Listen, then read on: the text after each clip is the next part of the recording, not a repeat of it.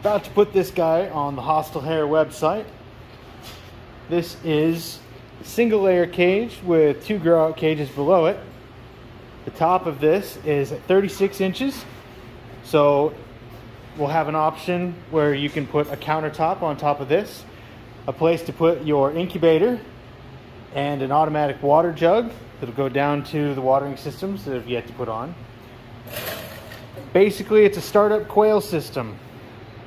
You'll be growing meat birds in no time. You see the size of it, it's only two foot deep by three foot wide by three foot tall.